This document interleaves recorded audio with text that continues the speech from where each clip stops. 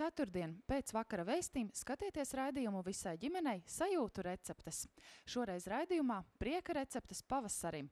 Sarunā ar stilisti Signi Valteri uzzināsim, kā atsvaidzināt ikdienu, redzēsim, kā pašu rokām sagatavot krāšņus aksesuārus un pastāstīsim par kādu hobiju, kas vairo ikdienas pozitīvās emocijas. Aicināsim arī jūs piedalīties raidījuma tapšanā ar savām prieka receptēm. Raidījuma atbalsta Sijā Liepkalni.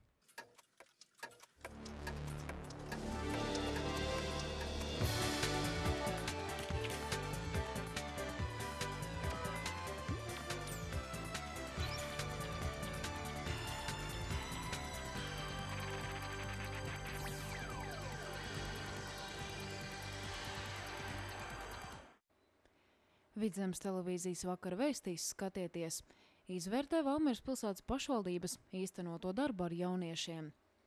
Sveic valmieriešus, kas nesuši savas pilsētas vārdu pasaulē. Gulbens apmācības centrā Austrum Vidzeme domā, kā caur dažādām aktivitātēm piesaistīt iedzīvotājus savai dzimtajai vietai. Pēc vakara vēstījuma raidījums Autoplacis.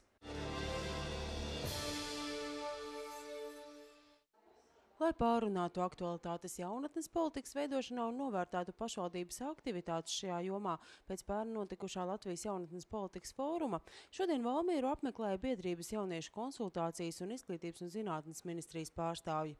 Ar viņiem tikās pilsētas pašvaldības izglītības pārvaldes vadība, arī Vindas un jauniešu domas pārstāvji. Tāpat diskusijās piedalījās vairāk apkārtējo pašvaldību speciālisti. Valmiera ir pilsēta, kurā šīs jauniešu lietas ir tiešām labi attīstītas. Ir daudz ko vēl strādāt, bet, bet nu, tie, tie, tie labākie novērojumi.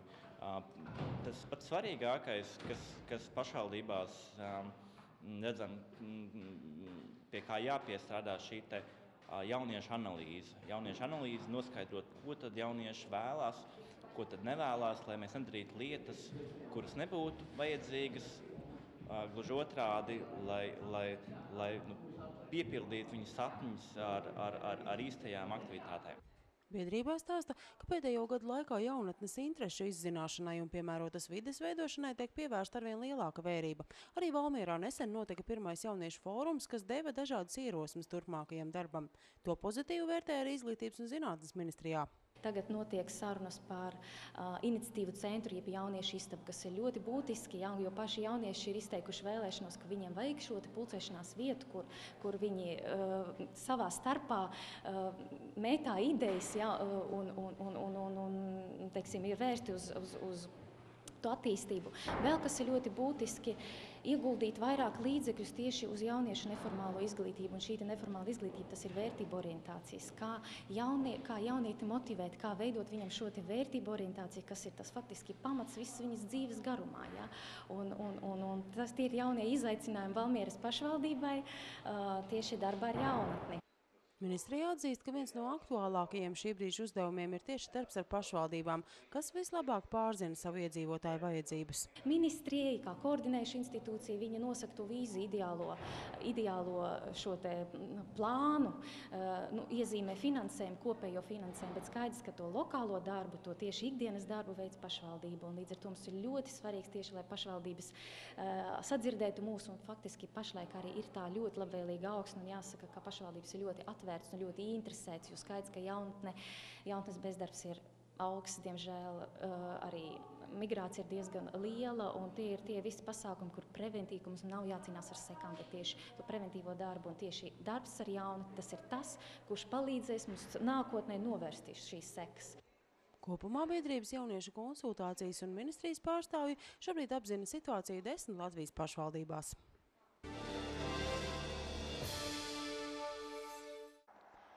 Salacgrīvas pašvaldība nolēma svērsties zivju fondā, lai iegūtu līdzekļus tēmiņu resursu palielināšanai, informē portāls auseklis.lv. Ja tiks iegūts cerētais pusotras tūkstotis latu, rudenī tiks ķerti vaislinieki, tos slauks un ikurs nogādās zivju audzētavā. Nākamgad pavasarī tos varētu izlaist salacas pietakās, bet tad atkal būšot nepieciešams finansējums. Makšķernieki pauž, ka mazuļi būtu ielaižami arī upītē augšpus burtniekam, kur esot ļoti labas nārsta vietas. Pēc makšķernieku domām mazuļu ielaišana upītēs jāveic katru gadu. Tā iepriekš jau darīts arī Salacgrīvas pusē, taču tad iestājusies divu gadu ilga pauze. Cilvēkam vissvarīgākais ir laiks. To nevar ne nopirkt, ne pārdot. To var tikai izmērīt. Mūsu sirds mēra mūsu laiku. Mēs varam palīdzēt tai strādāt precīzi un bez pārsitieniem. Tādēļ arī es lietoju sirds aspirīnu Hertamagnilu. Hertamagnilu šķidrina asinis, novērš trombu veidošanos asinsvados, uzlabo sirdsdarbību, mazinot infarkta un insulta risku. Hertamagnilu ir saudzīgs un piemērots ilgstošai lietošanai. Hertamagnilu dāvā jums laiku. Pirmas Prima Oil veikalā viss jūsu tehnikai. Plašā klāstā Krievijā un Baltkrievijā ražoto traktoru MTZ, T25 un T40 rezerves daļas. Arī Krievijā ražotās eļas un smērvielas gan traktoru tehnikai, gan automašīnām. Nopērkamas firmu Total un Neste eļas un smērvielas. Prima Oil veikals Valmierā, Cempu ielā 12.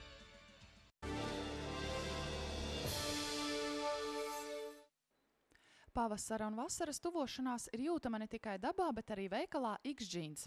Plašā izvēlē sieviešu un vīriešu virsjakas, kuru klāstā katrs atradīs sev ko piemērotu. Stilīgas vīriešu džinsa un auduma bikses dažādām dzīves situācijām. Jaunums – kleitas mūsdienīgām sievietēm, kuras var viegli saskaņot ar šīs sezonas aktualitāti šaurajiem džinsiem. Iepriecini sevi, iepērkoties veikalā X-Jeans, tirzniecības centra Valleta, trešajā stāvā. Veikala Multiluks sortimentā ir Pharma Group produkcija. Kompānija ražo matu kopšanas produkciju, kas palīdz būt veselam un skaistam. Aprīlī visai Pharma Group produkcijai atlaida 20%. Matu šampūniem čistajā līnija 400 ml cena tikai lats 39. Hipoalerģiskai sērijai un sērijai līdz 25 gadiem no Čornija žemčuga atlaida 50% un daudz citu izdevīgu piedāvājumu. Cienījamie pensionāri, jums katru pirmdienu atlaida 20%. Laipni lūdzam veikalā Multiluks tirsniecības centra Valleta trešajā stāvā. Uzrādot tirsniecības centra valleta klienta karti, saņemsi pastāvīgu 10% atlaidi šādos veikalos.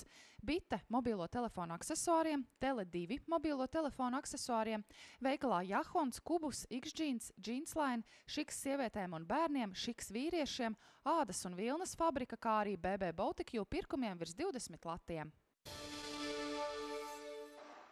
Darbam lauksaimniecībā Latvijā ir perspektīvas, un iesīkstējušo uzskatu, ka šajā jomā strādāt nav prestiži, apgāž Jānis Grasbergs, kas nu jau divus gadus no vecākiem pārņēmis zemnieku saimniecības zilūži vadību un droši plānotās attīstību.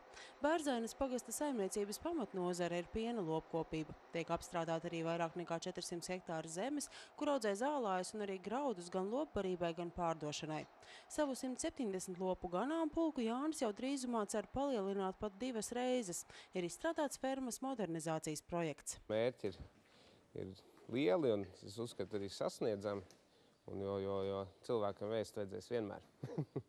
tā nav, nebūs tā nozara, kur, kur varēs, tiksim, bez kuras varēs iztikt. Un, protams, tās cenas ir svārstīgas, ir zemāk, augstāk. Bet, bet teiksim, pastoties atpakaļ visus grafikus, tad, uh, principā, tā piena cena tā arī iet. Viņas noslīd, uzceļās, noslīd, uzceļās, bet tas vidējais jau apmēram saglabājās. Jānis stāsta, ka jau bērnībā jutis interesi par lauku darbiem un strādāšanu savā saimniecībā. Pēc pamatskolas mācījies Priekuļu lauksaimniecības tehnikumā, tad Latvijas lauksaimniecības universitātē, kur nu jau studē maģistratūrā. Šīs zināšanas, ko, ko dod universitāte, tas, tas pamats, tev ir krietni vieglāk visu saprast, visas literatūras, teiksim, tādiem piegādātājiem. Tev ir grūtāk apvest ap stūri, ja kāds kaut ko grib lieku iesmērēt. Bet, nu, principā tas jau Latvijā īpaši vairāk nenotiek. Mēģināt kaut kādus liekus produktus. Jo tagad jau viss, viss iet uz to, ka vajadzētu vairāk, vairāk to pienu, un tad visu kopā arī cenšas viņu ražot. Un, eh, bet, teiksim, tādos semināros visur tas nu, palīdz izprast visu, visu to lietas būtību. Un, uh, it kā jau arī saka, nu, strādājot, jau visu var iemācīties. Bet tas notiek ļoti daudz gadu. Ja daudz gadiem jāpiet, lai saprastu tās lietas, teiksim, lai novērotu pēc saviem novērojumiem, bet tas viss jau ir izdarīts jau Līdzinājā saimniecības attīstība bijusi iespējama arī sadarbojoties ar hipotēku banku. Izmantojot bankas realizētās valsts atbalsta programmas tieši lauksaimniekiem, ņemta gan apgrozāmie līdzekļi, arī lauksaimniecības investīcijas aizdevumi, tāpat domājot par fermas modernizāciju, plānots izmantot kredītfondu aizdevumu investīcijām lauksaimniecībā. Bija solis, kad bija 30 lopi, kad 100 hektāri, un tad šis te posms no 30 lopiem un 100 hektāriem līdz 170 lopiem un 430 eh, hektāriem ir principā iet kopā ar hipotēku banku. Un, un, un, teiksim, jā, tur ir bijušas šīs vadības maiņas. Es uzskatu, ka pašreizējā vadība ir ļoti, ļoti, ļoti, ļoti, nu, ļoti labi un organizēta. Teiksim, prieks aiziet uz banku, kā saka. Saimniekošanā aktīvi līdzdarbojas arī visa ģimene. Vasarās palīdz Jāņa brāļi. Projektu rakstīšanā iesaistās mamma, kas ir saimniecības grāmatvede. Jānis vērtē, ka šī ir viņa īstā vieta, un arī savu senču zemes apsaimniekošana dod īpašu sajūtu. Protams, ir lepnums atgriezties un strādāt, un, kad zini, ka tev ir uh, saknēs ir zemnieki, tad uh, principā, es, es, es, es to daru tādu prieku un lepnumu. Jo tas ir, es jūtu, ka es esmu īstajā lauciņā un kad, kad ir tā mana vieta. Vairāk par hipotēku bankas piedāvātajām iespējām iegūt aizdevumus tieši lauksaimniecībām runāsim aprīlī. Redījumā vidzemniekam izdodas. Lai pateiktu paldies valmieriešiem, kas ar saviem sasniegumiem visdažādākajās jomās nesuši mūsu pilsētas vārdu ne tikai Latvijas mērogā, bet arī visā pasaulē, pašvaldības priekšsēdētājs Inesis Boķis nu jau tradicionāli rīko neformāls tikšanās pēcpusdienas. Arī šoreiz pilsētas domē viesojās ļoti atšķirīgi cilvēki, lai pie kafijas tases pārunātu padarīto un arī dzen nākotnes plānus. Viņas tagad pēdējā laikā tādas interesantas, ka ir ļoti dažādi Valmieras pārstāvji un, var teikt, tādā vienkāršā vārdā Valmieras varoņi, e, kas arī spodrina arī Latvijas tēlu. Un vēlreiz viņiem paldies, un tās sarunas mums ir interesantas, un mēs viens no otra bagātinamies. Šoreiz pie pašvaldības priekšsēdētāja viesojās diriģente Irēna Zelča, kuras vadītais mūzikas skolas koris pavisam nesen uzvarēja Jāzipa Vītola mūzikas skolas koru un ansambļu konkursā, iegūstot tiesības Latviju nākamajā gadā pārstāvēt Spānijā.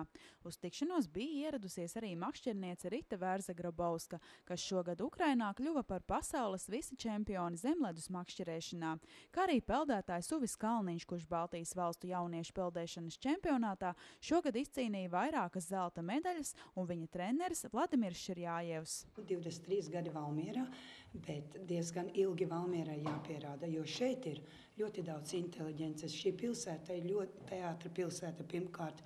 Te tiešām ir ļoti daudz radošu cilvēku, un te ir ļoti spēcīga konkurence. Tas vairāk kā stimuls censties atnākt arī nākošreiz sasniegt labākus rezultātus. Protams. Ir taču patīkami atnākt pie mēra kungu uz kafiju, un tā jau tā kā tāda iestaigāta taciņa, ja? nemaz tik neparasti. Ja? Bet, nu, ceru, ka tā šī taciņa katru gadu atjaunosies mums. Tikšanās noslēgumā pašvaldības priekšsēdētājs Ineses Boķis viesiem pasniedza piemiņas veltes, kā arī aicināja parakstīties Valmieras pilsētas goda grāmatā. Klātesošiem priekšsēdētājs vēlēja izturību un aizvien jaunus panākumus un sasniegumus arī turpmāk. Lai novada attīstības prioritātes nebūtu tikai jaunu infrastruktūras objektu būvniecība, bet tie būtu arī cilvēku piepildīti, ir jāatrod veidi, kā motivēt iedzīvotājus iesaistīties aktīvā apritē, būt sabiedriski aktīviem un galu galā nepamest savu dzimto vietu. Ar šādu mērķi Gulbenes apmācību centrā Austrumvidzeme pulcējas entuziastu grupa. Tās sastāvā ir dalībnieces no novada pagastiem, izglītības iestādēm, bibliotekām un sabiedriskām organizācijām vispār cilvēks, kurš dzīvo šajā materiālajā pasaulē, viņš tomēr kaut kā liekas, tam cilvēkam liekas, ka attīstība ir saistīta tikai ar infrastruktūru. Ja ir manta, tad ir, tad ir, tad ir arī jēga. Un, un savukārt, kad mēs sākam runāt par to, ka nu, nav jēga no lielām būvēm, vai lielām celtnēm, vai atjaunotiem kultūras namiem, vai visādiem interešu centru istabiņām, ja tur nav cilvēka, kas iet iekšā, ja tur nav cilvēka, kas tur grib darboties, ja nav cilvēka, kurš tur vispār dzīvo. Un, un tā kā mēs tā kā gribētu tomēr mainīt šos uzsvarus. Kā vienu no lauku novadu īstajām attīstības iespējām darba grupas vadītāji uzskata mūža izglītības pasākumu ieviešanu novadā, ar to saprotot ne tikai atsevišķu kursu organizēšanu, bet mudinošu pasākumu kompleksu, kas nereti neprasa milzīgus finansiālus līdzekļus. Pašreiz tā, tā cilvēku grupa, kas mēs tiekamies kopā un tā mēģinam nevis te nenormāli politiski un nenormāli tā skaļi un lieli, ja tagad izstrādāt lielās stratēģijas, bet gan ļoti realistiski paskatīties uz to, kā mēs novadā varam um, kā mēs varam veidot šo atbalstošu sistēmu cilvēkam, lai viņš maksimāli efektīvi varētu mācīties to, kas viņam ir nepieciešams, un tad, kad viņam tas ir nepieciešams. Sabiene strādā Gulbenes bibliotekā un jau tagad ar prieku vēro, kā iedzīvotāji iesaistās bibliotekas piedāvātajos pakalpojumos. Īpašu popularitāti izpelnījušies datorkursi un sevišķi aktīvi šajā ziņā ir pensionāri. Mēs strādājam ar plašu auditoriju, ir gan skolēni, jaunieši tiek aicināti, gan bērniem apmācības. Apmācības tika arī organizētas e, iedzīvotājiem e, ar kustību traucējumiem mājās. Apmācības tika veiktas, bet visvairāk, e, vislielākā interese ir tieši senioriem. Jā. Protams, kā, kā veicas senioriem? Ļoti labi. Ļoti labi. Seniori ir ļoti uzņēmīgi cilvēki un, un viņi ir ļoti motivēti. Un, un, un tas ļoti, ļoti atvieglo šo mācīšanās procesu, jo tā zinātnē ir, ir, ir apbrīnojama un, jā, un, un gala rezultāts arī ļoti pozitīvs. Darba grupas dalībnieču mērķis nav agresīvi cīnīties, lai pierādītu savas idejas, taču viņas ir pārliecinātas, ka novada attīstības plāna pirmajā vietā jāizvirza cilvēks un tikai tad jauni būvniecības projekti. Pirmo dziedājumu uz lielās skatuves un pirmo satraukumu pirms uzstāšanās publikas priekšā nu ir piedzīvojuši arī mazie priekuļu novada dziedātāji, uzstājoties nu jau tradicionālajā konkursā cālis. Šogad uz skatuves kāpa un dziedāt prasmes demonstrēja 17 mazie cālīši. Ir tādi, kas gadu no gada, kas izaug lēnām ar cēlīšiem kopā. Ir tādi kā pagājušā gada meitenīte, kas, piemēram, cēsu cēlī arī uzvarēja. Nu, viņa šogad atklās koncertu mums. Pirms konkursa mazie dziedātāji braši atzina, ka nemaz nav nobijušies un dziesmiņas ir iemācījušies. Daudz bažīgāk par savu atvesu izskatījās vecāki. Tāpat arī skolotājs neslēpa rūpes par saviem audzēkņiem. Cik dziesmiņas šodien jūs dziedāsiet un kādas dziesmiņas tālāk dziedāsiet? Es dziedāšu divas. Vienu par krokodilu un otru par, par Latviju. Par Latviju, jā? Jā. Un tu cik dziesmiņas dziedās? Arī divas. Kādas? Divas desmitais vārdas. Cik jūs ilgi esat jau mācījušās dziesmiņas, ilgi trenējāties? Jā. Liels darbs tas arī no viņiem pašiem ir. Tas nav viegli dziedāt, uzstāties un vēl visiem tādu, nu, tādu lielu prieku radīt. Satraukums jau ir. Kā jūs gatavojaties arī kaut kām kopā mājās dziedāt? Viņa ar mani kopā nedzied. Viņa ir tāda kautrīga. Mums liels, liels paldies mūsu skolotājai Ilzītei no, no dārziņa. Viņa mums tā kā lielais atbalsts ir. Priekuļos cēlus notiekot jau sesto gadu. Tajā startē arī bērni no Liepas, Veselavas un Mārsnēniem. Kā jau katru gadu, katrs mazais dziedātājs izpildīja divas dziesmiņas. Ir tā, ka ir klasika, jā, maza, maza meitenīte, un tādas tiešām, kas gadu no gada, bet parādās arī jaunas, jā, kā tu jautā, modīgākas, jā, dziesmas, un tādas, tas ir interesanti priekš publikas, jā, un žūrijai arī, protams, ir interesantāk, kad ir savādākas dziesmas, jā. Bet, nu, pieaugšo repertuārs gan tā kā neienāk tomēr cālī. Visus konkursantus noklausījās arī žūrija, vērtējot mazo dalībnieku dziedāt prasmes. Šogad par priekuļu novada cāli kļuva piecgadīgā Laura Evelīna Bahmane, kur apmeklēja priekuļu bērnu dārzu. Jau sestdien Laura Evelīna startēs arī Cēsu cālī 2011. Hertamagnila šķidrina asinis, novērš trombu veidošanos asinsvados, uzlabo sirdsdarbību, mazinot infarkta un insulta risku. Hertamagnila dāvā jums laiku. Masāža, klasiskā un relaksējošā, dāvanu kartes, mājas vizītes, modus Valmierā, Rīgas ielā 26, tālrunis 27, 52, 34, 56.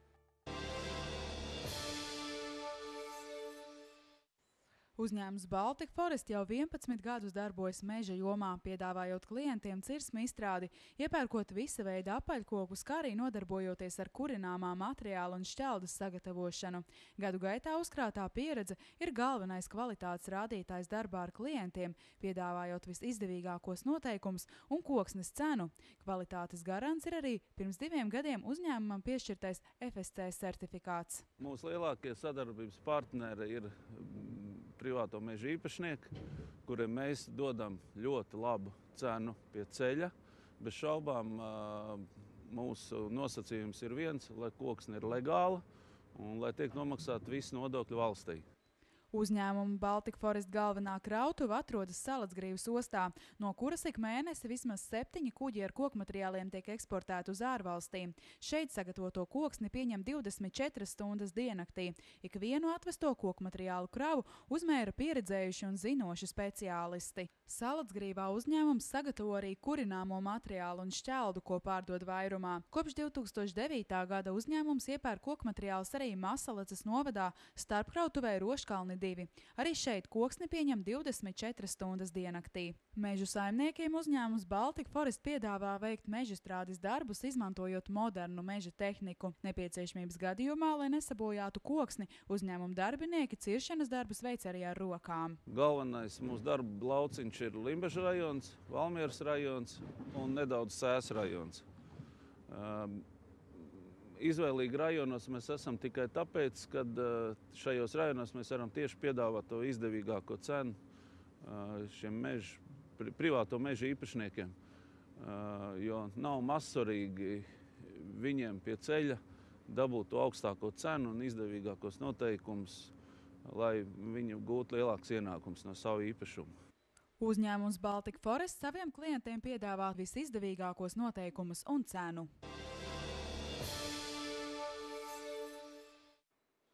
Pensionāra dienas centrā atvasara 4. 31. martā 8.50 vingrošanas nodarbības, 17. balles vakars.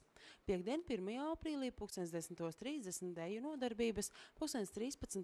vācu valodas nodarbības, 15. angļu valodas nodarbības, 16. klūdziņu pinēju nodarbības. No 4. līdz 21. aprīlim Valmieras pilsētā tiks veikta ūdensvada skalošana un dezinfekcija. Šajā laikā iespējamas ūdens spiedienas vārstības un paaugstināta ūdens duļķainība. Skalošanas laikā lūgums nelietot ūdeni no pilsētas ūdensvada, lai nepiesārņotu dzīvojamo māju iekšējos tīklus. Atsevišķās pilsētas daļās caurules tiks tīrītas ar gaisa un ūdens palīdzību. Darba grafiku var lasīt Valmieras pašvaldības informatīvā izdevuma marta numurā, kā arī arī internetā valmierasūdens.lv vai valmiera LV. Atvērto durvju diena Valmieras valsts ģimnāzijā sestdien 2. aprīlī 2010. Leona Paeglas ielā 40. Iepazīšanās ar skolu, izglītības programmām, dažādas aktivitātes. Tālrunis uzziņām 642 225 642 07593 vai 642 07594. Mājaslapas adrese www.vvg.edu.lv.